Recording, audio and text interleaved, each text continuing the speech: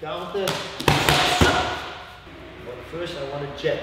Get the jab, low kick. Go back and follow with the left hook. Then you make a step, right hand.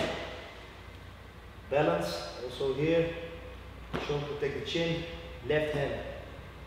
Up to your head, to your defense. Now we're gonna follow with the left kick. After the left kick, I'm gonna follow with the left kick. He's gonna follow. He turn his body in when he want to counter the left kick. Block, see inside. One hand to your defense, head, and one throw away. Just one. Right hand, step in, turn your body with the left hook, and then you follow with a right kick. Hello.